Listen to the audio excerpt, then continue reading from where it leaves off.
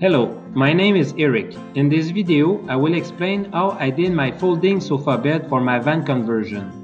This sofa bed design is good for any van sizes. The video is part of a series to help you in your do-it-yourself van conversion project. The channel is also about van life tips and adventures that comes along the way. So don't forget to subscribe and ask for notification by hitting the small bell.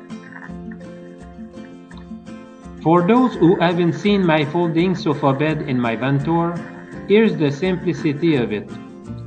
I use a real comfortable mattress that I cut in 5 pieces.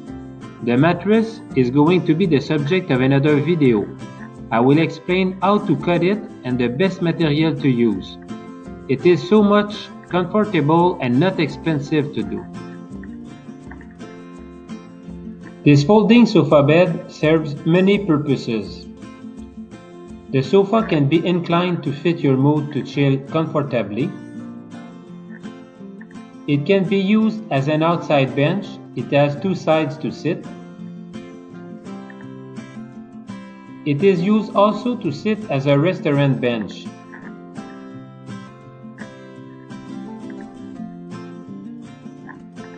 Also, everywhere under the bed there's storage space.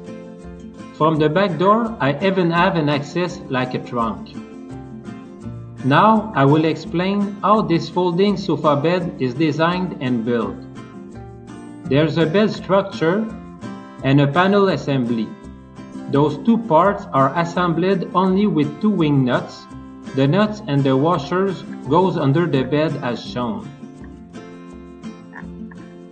The first thing I did was to draw a sketch of the panels of my folding sofa bed the way I wanted.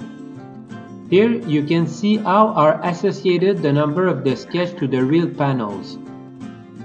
I use piano hinge to link the panels between them. There's only one piano hinge that you don't see between panel 2 and 3 because it is on the other side of the panel assembly. Now look at the scale model how the panel's assembly is articulated. Here's the structure of the bed. You can see that there is two chassis side stud in yellow and six across stud in pink. Those six across studs are placed to support the piano hinge according to the position of the sofa bed in a bed position or in a sofa position. Now we are going to look that scale model in movement. I am moving from the bed position to the sofa position. Panel 5 is the trunk door to access in the deep part of the storage. In the bed position, you can see that the hinges are aligned with stud for support.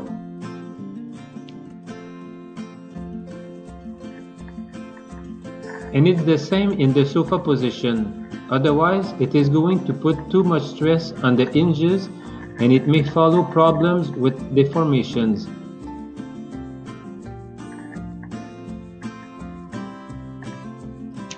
The first thing to build is the panel assembly. After deciding the bed size that you need, you have to decide the size of each panel.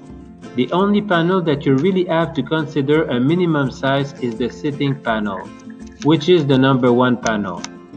I will not recommend going smaller than 16 inches. There's that minimum because you have to take into account the size of the mattress that will be on your back when you are sitting. If you want to sit at the back of the van, the same rule apply for the sitting panels number 4 and 5. Minimum 16 inches for both total. All the other panels can have the size that fits your needs. I suggest you to have your plywood cut at the hardware store. Those long cuts needs to be perfect for the piano hinge. For a few dollars, they'll be perfect and easier to bring back home. As you can see, it's pretty easy. After that, you just have to link those panels with the piano hinges. Again, like for the cabinets, at first you can do a dry run with cardboard to figure out if everything will be as planned. Then I did the flatbed structure to fit the piano hinges position in bed position and in sofa position. You can try different sofa angles to find out which angle you prefer. That way you'll be sure where you will have to fix your across stud structure. I mainly use 2x3 for the structure. If you are heavy, you can go with 2x4. For the across studs, I decided to use 2x6. On the pictures, you can see which size I took for each position. After you have done the flatbed structure, you can do the legs of the sofa bed. My recommendation is to begin with longer legs and reduce them until you are sitting comfy without touching the roof of the van. It took me 3 to 4 adjustments. As you have seen on the pictures, I use different leg configuration to fit the situation. Also, all my sofa legs are not of the same length because I have removed a seat that goes under the floor. To assemble all the bed structure, I use wood glue, brackets, and wood screws. On those pictures, you can see the type of brackets that I use.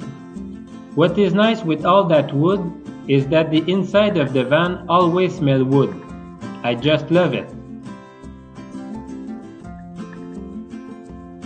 Here's some tips. I left 1 to 2 inches between the bed platform and the cabinet and between the van's wall.